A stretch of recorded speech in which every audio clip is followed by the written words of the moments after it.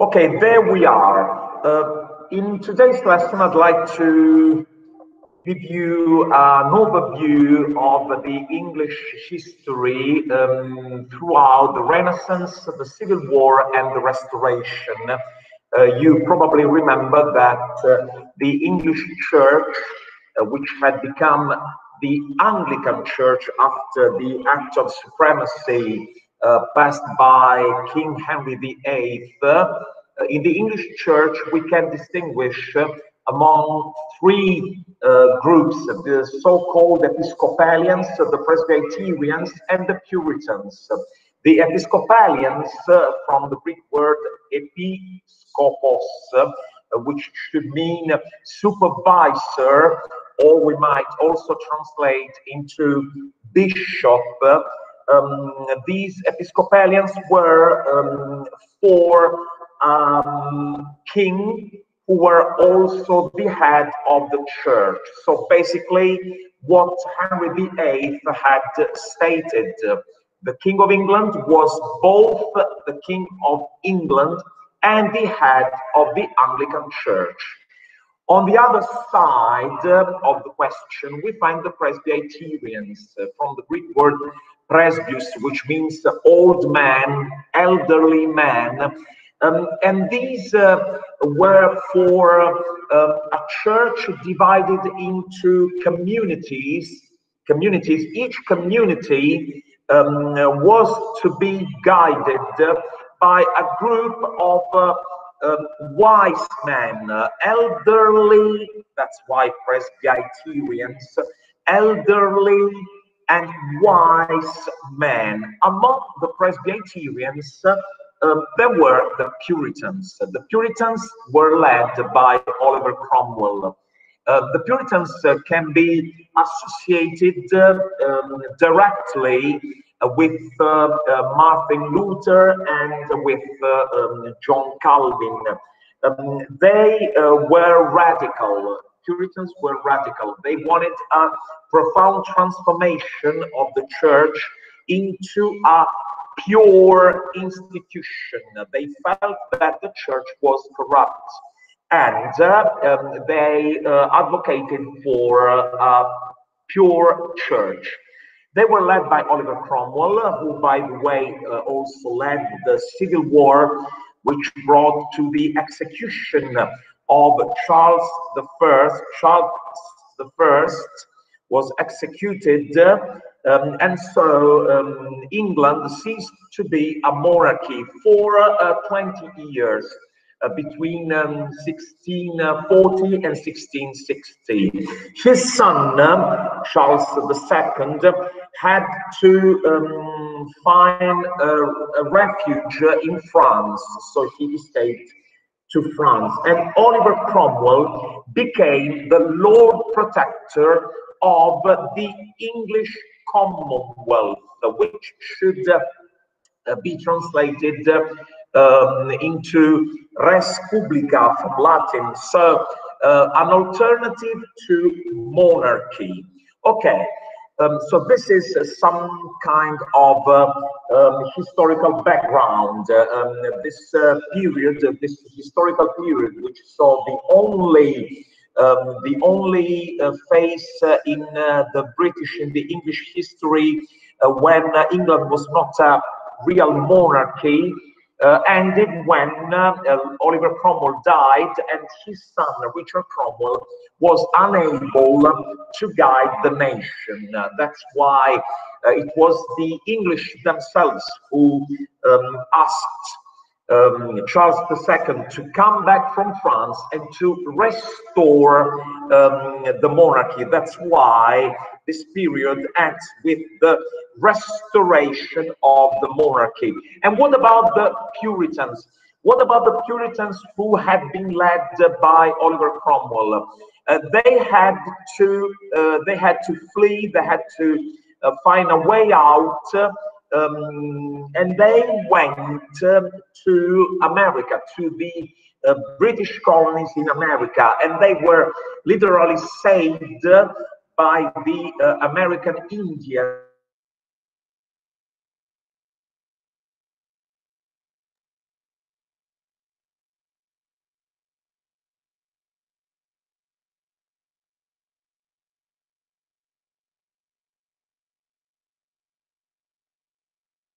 Americans um, remember, celebrate this, this moment when the Indians, the original inhabitants of uh, Massachusetts, saved the Pilgrim Fathers. The Pilgrim Fathers uh, on, uh, on the famous uh, ship Mayflower um, were the Puritans, the English Puritans who uh, had to escape from England.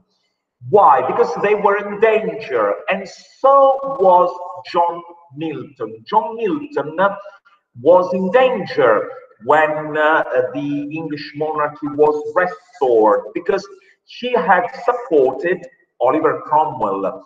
Um, well, John Milton uh, um, led uh, some kind of double life, a first life, a first public political life in which she was basically a politician. She was uh, um, she was the um, state secretary of Oliver Cromwell, uh, uh, some kind of minister for foreign affairs, uh, because he could. Uh, um, he could fluently understand and speak uh, French, Spanish, Italian, um, as he had also studied Greek and Latin. So he had uh, a huge education. John Milton was uh, able to read uh, Homer, um, Virgil, uh, Dante, um, Ariosto, um, Tasso, all the classical uh, um, and modern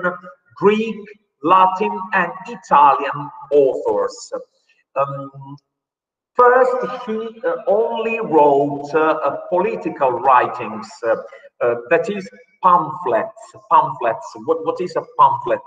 A pamphlet is a publication, um, usually short, and usually um, with a thesis to defend.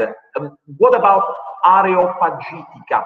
Areopagitica is uh, uh, is a, a, famous pamphlet written by um, John Milton. It is uh, completely called Areopagitica, a speech for the liberty of unlicensed printing to the Parliament of England. So what is it about? It is about the freedom of the press. The name Areopagitica comes from Areopagus, um, Areios the hill of Ares, which was a hill uh, in Athens uh, next to the Athenian Acropolis, uh, um, where the, the council of ancient Athens gathered. So it, it was a place where um, the people in Athens made their decision. And um, um, Milton uh, gave a speech, gave a speech for the liberty of unlicensed printing, unlicensed printing. What does this mean? Uh, Milton defended the right of anyone to uh, publish whatever they thought, whatever they um, wanted to express to the rest of the population without having to ask for a license.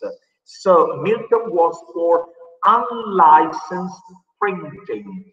Well, licensed printing, the opposite of unlicensed printing, is the synonym for censorship, for inquisition.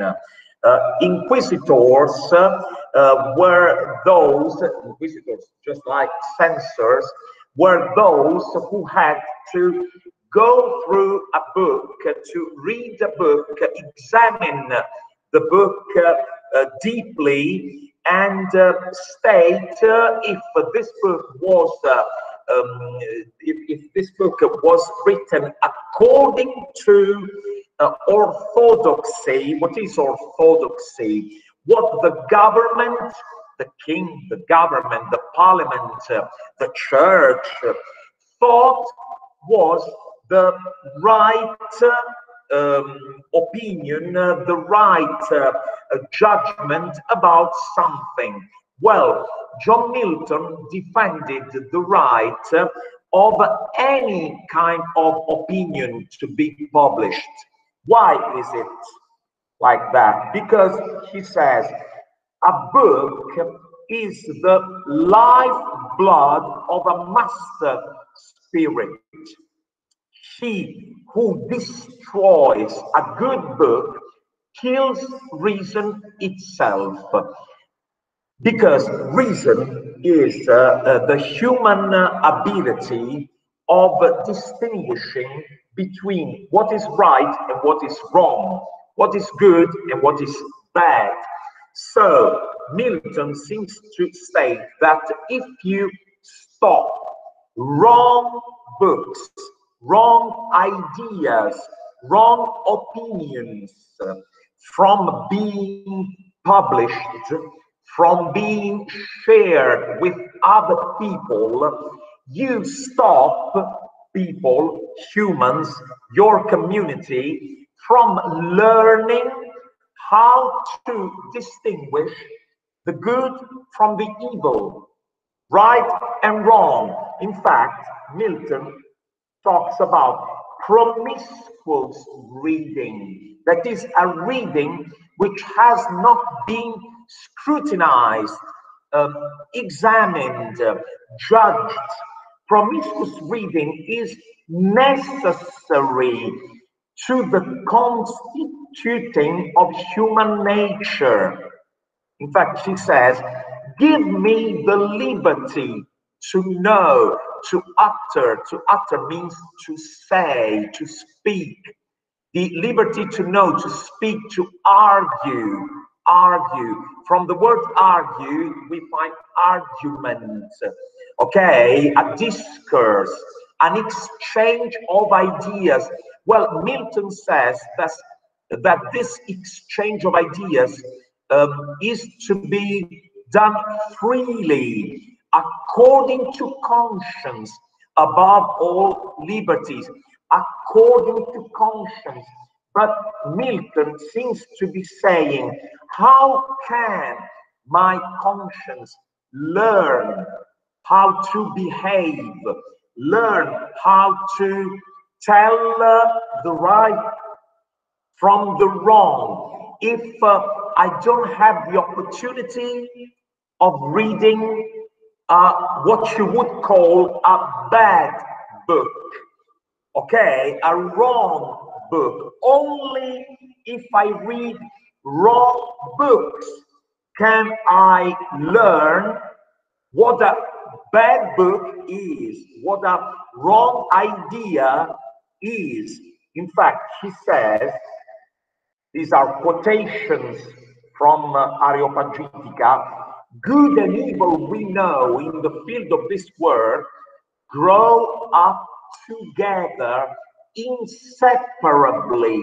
Inseparably. It is difficult to separate good from evil.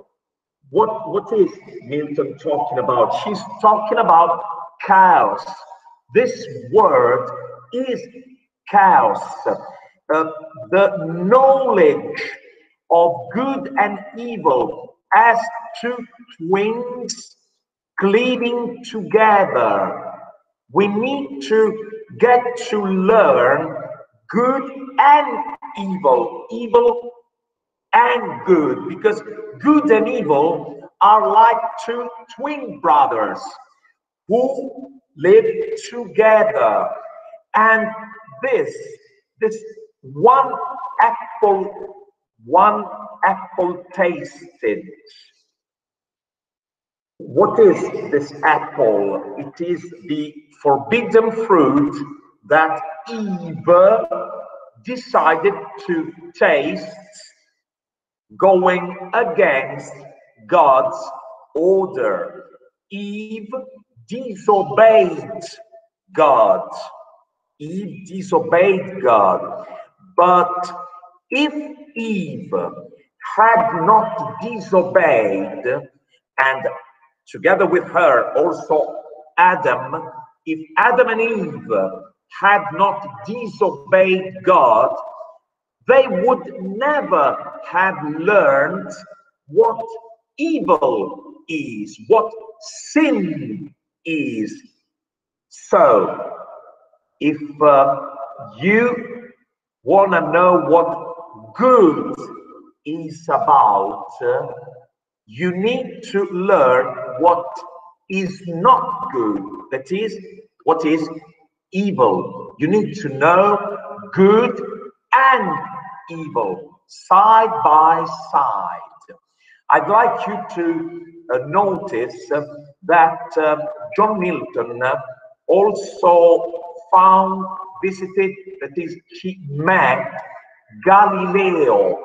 And we know that Galileo is a hero uh, as regards uh, this idea of defending what is uh, defined as uh, not orthodox. Uh, Galileo was a prisoner to the Inquisition for thinking in astronomy otherwise than the Franciscan and Dominican licensers thought. So we have some uh, friars, Franciscan, the Franciscan and Dominican licensers who could only read the Bible, analyze the Bible, scrutinize what was published according to the Bible, well, these friars, okay, these uh, theologians uh, only knew the Bible and they wanted to judge uh, science, that is what Galileo had just discovered, and they said that what Galileo was trying to publish was against was against doctrine. So it had to be hidden. What Galileo had discovered had to be hidden, destroyed. No one was supposed to know what Galileo Galilei had found out. That is, it is wrong to um, to think that the Earth is the center of the universe. Okay. Okay. So this was Areopagitica. It is a pamphlet written by John Milton in the first phase of his uh, of his life when uh, when Oliver Cromwell ruled over the English Commonwealth as the Lord Protector, and at that time, uh, John Milton um, only wrote pamphlets, not only about the freedom of the press, the freedom of uh, uh, publishing, of printing and publishing any kind of book uh, without having to ask for a license. This is important. The, the freedom, the freedom of uh, unlicensed printing. This is very important. Uh, not only he wrote about uh, the freedom of the press, he also uh, expressed his ideas about uh, um, marriage. Uh, you have to know that Milton uh, got married three times. one of his marriages only lasted three weeks. He was for divorce. He was not against divorce. He, he thought that people should have the right of divorcing someone if uh, after the marriage they had found out that uh, uh, it was impossible for them to live together. If they realize, if, if a married couple, even a just married couple, realized that uh, it was a mistake, according to Milton, we need to have the right of uh, divorcing someone. Okay, so uh, he wrote the doctrine and discipline of divorce. This is another another writing of his uh, belonging to this first period. but we will we will see that John Milton also also wrote another another huge huge work of art, which is uh, uh, the Paradise Lost, which on the other hand belongs to the second period when uh, when he was uh, somehow um, exiled not in the literary sense uh, uh, he um, he was not uh, sent away from from England but um, he had to somehow retire to his home uh, when Charles II came back from France. Uh, so when the monarchy, the English monarchy was restored um, after the death of uh, Richard Cromwell, and Milton was in danger. The only reason why uh, he did not die or she um, did not have to find a way out uh, in America like the, the rest of the Puritans had to do, the, the so-called Pilgrim Fathers, uh, was first because she had uh, um, very influential friends. Uh, he was really appreciated in England for, for his education, uh, uh, because uh, as I as I told you before, uh, he was a master in in Greek, Latin, Italian languages.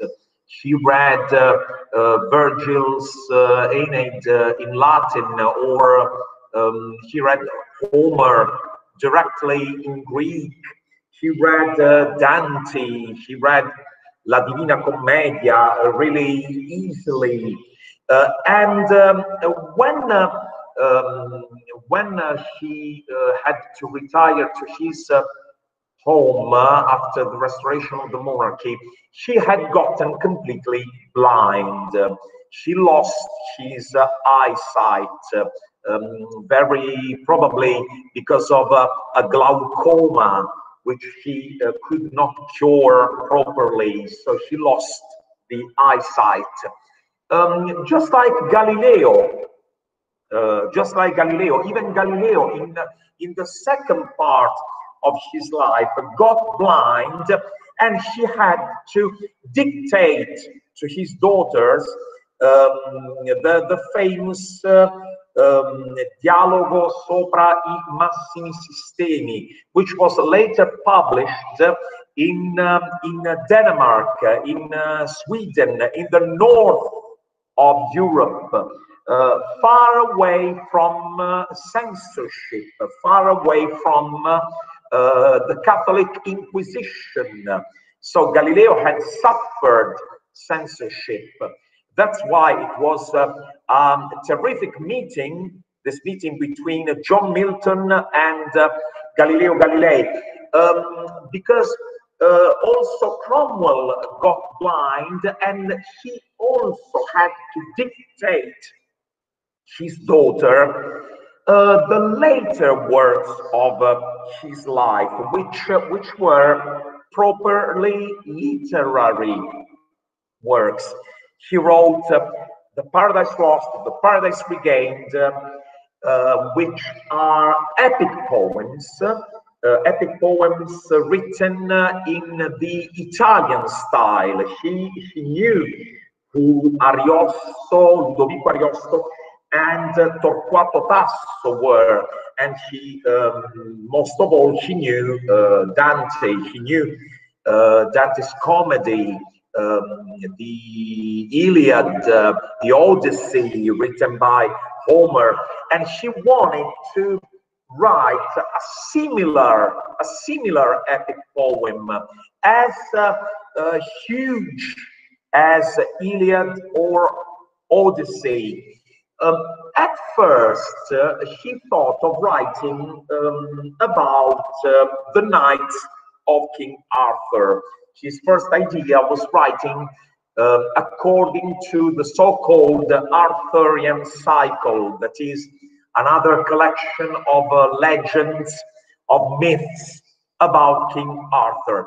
But then uh, um, she realized that he wanted to do something even uh, higher.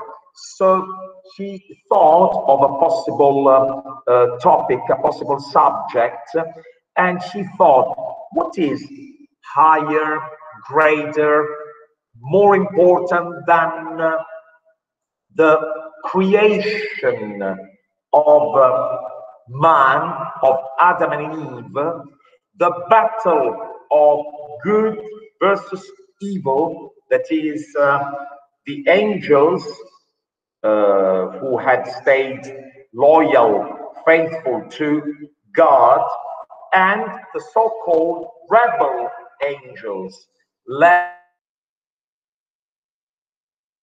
named Satan. Okay, so she wrote the Paradise Lost, which is this huge epic poem in 12 books. It's written in 12 books. Um, it is an epic poem. Uh, it is written in uh, iambic pentameter. Um, you know,